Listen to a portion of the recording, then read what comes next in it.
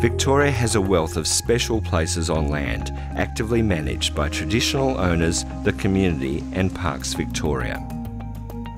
This network of parks provides a magnificent refuge for unique plants and animals and a place where people can experience nature on walks, camping, with family and friends, experiences that last a lifetime.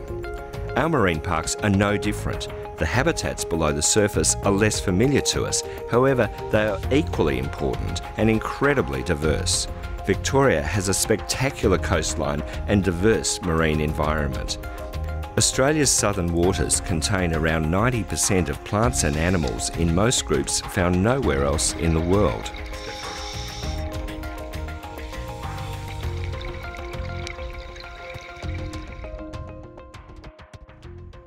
Our parks were, were, set up to provide a representative example of the marine ecosystems in Victoria. So and that's what we've done all across Victoria. Each type of marine area is found. In total, there's 30 marine protected areas ranging in the west from the South Australian border right through to Cape Howe in the east. And the aim was to cover all the types of habitats. So it might be deep rocky reefs at Wilson's Prom, it might be muddy inshore environments behind Phillip Island at Churchill, it might be seagrass meadows in Port Phillip Bay and Swan Bay. So the intent was to give us representations, and it's like land national parks. It's like the equivalent of alpine areas or desert areas or rainforest areas. You're trying to make sure that you're protecting and, and managing those areas. Managing marine parks is a bit different than uh, our land-based parks uh, because they're a bit harder to see. You actually have to put your head under the water and as often as I can I get out and do that, go scuba diving with our staff and partner groups to see how good those parks really are. We are just so blessed down here. It is the most amazing place to get your head in under the water and have a look at the amazing diversity that we have and really that's that's the special message that we want to get out to people is that we have great diversity that we need to look after people's reactions to the to my images of Victoria kept me taking photographs.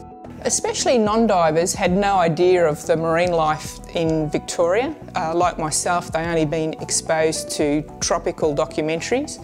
And so when I would show my images to people I knew, that, that the reaction was universal and consistent. Is that Victoria?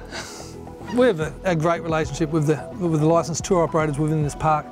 There's a number of them operating dolphin swims, dive tours, snorkel tours, kayaking, and they provide feedback about any, any damage or infrastructure problems we have on our managed area. As a tourism operator, we're out in the parks every day, so we can help uh, with assistance and maintenance of those parks. Simply by being there, we can see what's going on.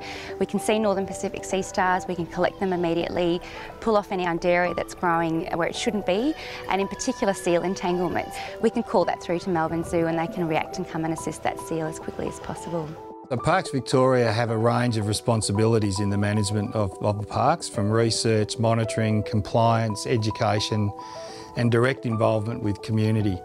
And obviously the community groups are a key player in their particular parts of the world. They might have 15 volunteers really keen to do diving for us, whereas we might only have one ranger in the area. So they're, they're an incredible resource for the park and for our agency and other agencies in managing these special places. People bring their children down to the rock pools to look at the plants and animals, you know. Schools and community groups visit these places on a regular basis to learn about marine environments. I think our community is, is, is strengthened by their existence and by our ability to be involved in in monitoring and, and learning and teaching people about marine parks.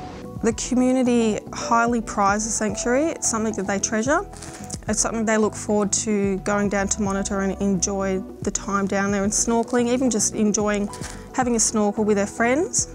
I think if we don't set aside some of these special areas, we're doing our grandchildren a misjustice. We're not, we're not making sure that our footprints on this earth weren't so hard that we squashed everything around us. And I think we have to treat these places with respect. We have an obligation. Some of the research in marine national parks and marine sanctuaries involves monitoring, uh, monitoring what's in the parks and how that may or may not change through time. It's really important that we understand those changes so we can better manage the parks and perhaps understand what's happen happening in the wider marine environment as well. Our philosophy, Healthy Parks, Healthy People, underpins all our work. We are charged with protecting the Earth's two most important assets nature and humanity.